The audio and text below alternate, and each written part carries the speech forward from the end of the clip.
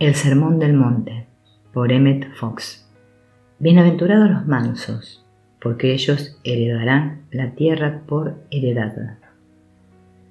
A primera vista esta bienaventuranza parece tener muy poco sentido y los hechos ordinarios de la vida parecen contradecir el que tienen. Ningún hombre cuerdo observando el mundo que le rodea y estudiando la historia podría sinceramente aceptar este dicho al pie de la letra y la mayoría de los cristianos lo han pasado por alto en la práctica, sintiendo con pena que las cosas deberían ser así sin duda, pero que, de hecho, no lo son ciertamente. Pero esta actitud no conduce a nada. Tarde o temprano, el alma llega a un punto en que tiene que descartar de una vez para siempre todas las evasiones y subterfugios y enfrentarse honradamente a las realidades de la vida cueste lo que cueste. Es necesario admitir que o Jesús pensaba lo que decía o no lo pensaba, que sabía de qué hablaba o no lo sabía. De lo contrario, si esto no se toma en serio, nos vemos arrastrados a una posición que ningún cristiano querría aceptar, o que Jesús decía lo que no creía en verdad, como hace la gente poco escrupulosa, o que decía disparates. Esta situación ha de ser definida en el mero principio de nuestro estudio del Sermón del Monte. Es decir, o tomamos en serio a Jesús o no, y en este caso su enseñanza deberá ser abandonada del todo y la gente debe dejar de llamarse cristiana. Honrar a Jesús de labios afuera, decir que el Evangelio es la verdad divinamente inspirada, jactarnos de ser cristianos y después evadirnos de poner en práctica en la vida diaria todo lo que se infiere de su doctrina, es simplemente debilidad fatal e hipocresía de la peor especie. O Jesús es un guía digno de confianza, o no lo es, y si lo es, honrémosle aceptando que él en realidad sabía lo que decía y que conocía mejor que nadie el arte de vivir. Las penas y ansiedades que padece la humanidad se deben por completo al hecho de que nuestro modo de vivir es tan opuesto a la verdad que las cosas que Jesús dijo y enseñó nos parecen a primera vista absurdas y locas. Lo cierto es que cuando se la comprende correctamente, encontramos que la enseñanza de Jesús es no solamente verdadera, sino sumamente practicable. En verdad es la más practicable de todas las doctrinas. Llegamos a descubrir, pues, que Jesús no era un visionario sentimental ni un mero dispensador de trivialidades, sino un consumado realista, como solo un gran místico puede serlo, la esencia total de su doctrina, así como su aplicación práctica, están comprendidas sumariamente en este texto. Esta bienaventuranza se halla entre la media docena de los versículos más importantes de la Biblia. Cuando se está en posesión del sentido espiritual de este texto, se posee el secreto de dominio, el secreto que nos hace aptos para superar toda clase de dificultades. Es literalmente la llave de la vida. Es el mensaje de Jesús reducido a una sola frase. Estas palabras son, actualmente, como la piedra filosofal de los alquimistas que transforman el metal básico de la limitación y la aflicción en el oro del confort, o sea, la verdadera armonía. Notemos que hay en el texto dos palabras que obran como polos sobre la tensión, manso y tierra.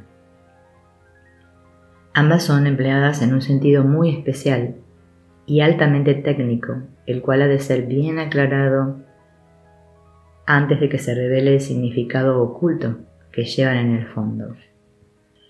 En primer lugar, la palabra tierra no se usa en la Biblia como mera referencia al globo terrestre. Significa manifestación, manifestación o expresión es el resultado de una causa. Es necesario que una causa se manifieste o exprese antes que podamos conocerla. Y por otra parte, toda manifestación o expresión tiene que tener su causa. Ahora bien, en la metafísica divina y particularmente en el Sermón del Monte, aprendemos que toda causa es mental y que nuestros cuerpos y todo lo que nos concierne, hogar, negocios, toda nuestra experiencia, no son sino la manifestación de nuestro propio estado mental. El hecho de que seamos inconscientes de la mayor parte de nuestros estados mentales no quiere decir nada, porque de todos modos están ahí, en la mente, subconsciente. No importa que ya los hayamos olvidado o que jamás hayamos sido conscientes de ello. En otras palabras, nuestra tierra significa la totalidad de nuestra experiencia externa y heredar la tierra significa adquirir dominio sobre esa experiencia, o sea, tener la facultad de ordenar nuestra vida en condiciones de armonía y éxito positivo.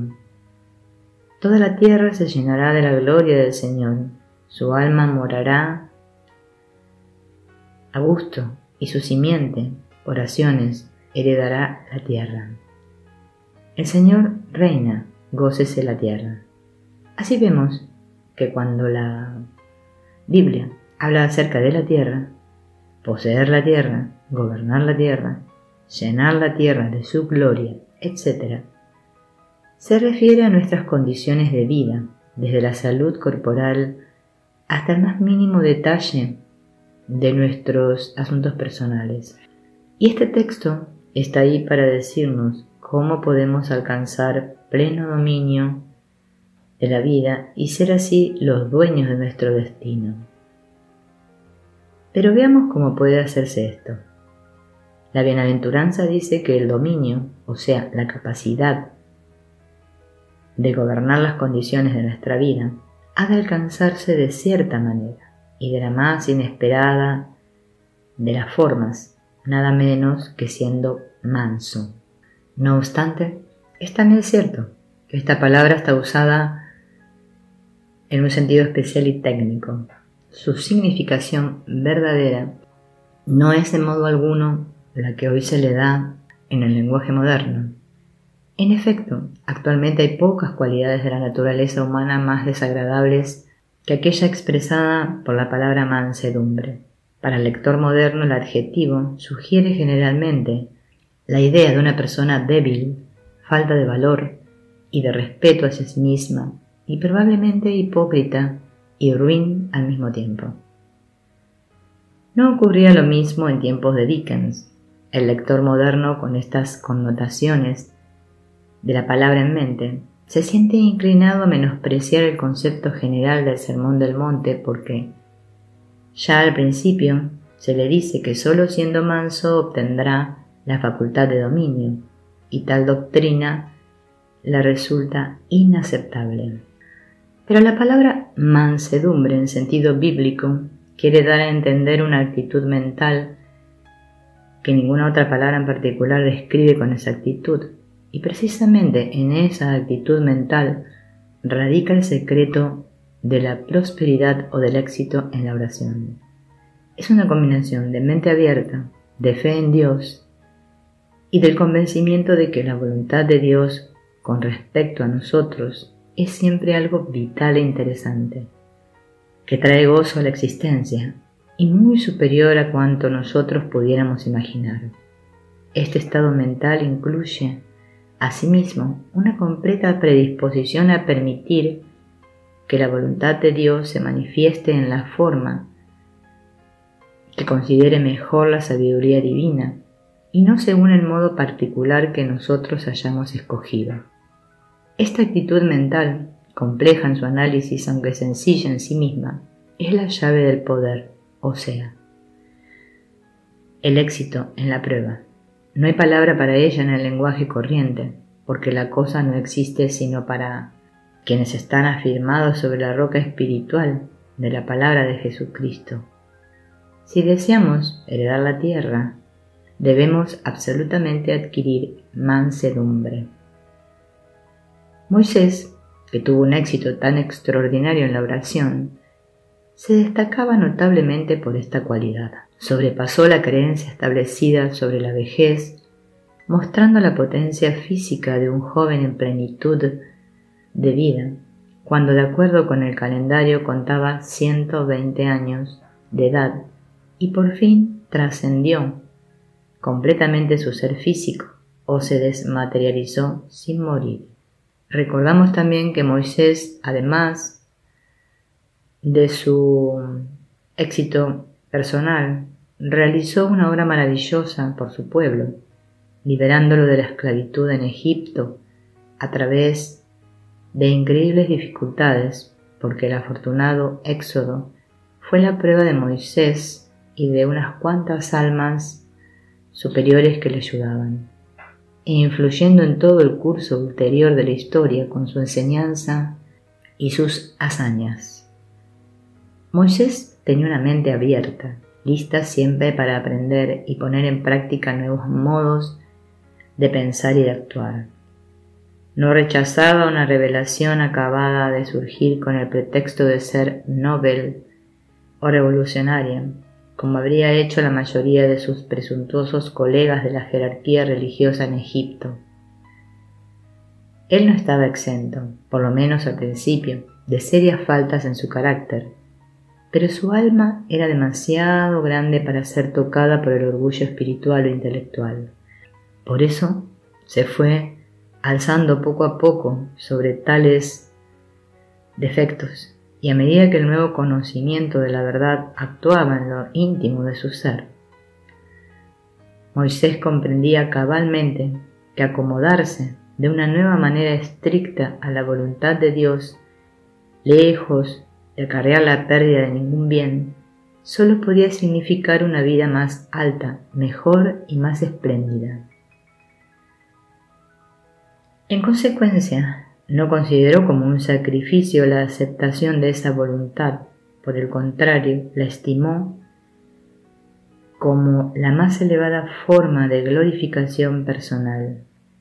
En el verdadero y maravilloso sentido de esta palabra, la glorificación personal del egoísta es la vanidad, vil, que al fin conduce a la humillación.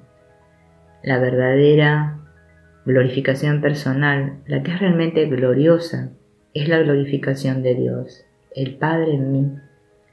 Él hace trabajo, yo en ti y tú en mí. Moisés comprendió a la perfección el poder de la palabra hablada para hacer surgir el bien, lo cual es fe científica. Fue uno de los hombres más mansos que jamás hayan vivido y nadie, con excepción de nuestro Señor, ha recibido la tierra por heredad hasta tal punto.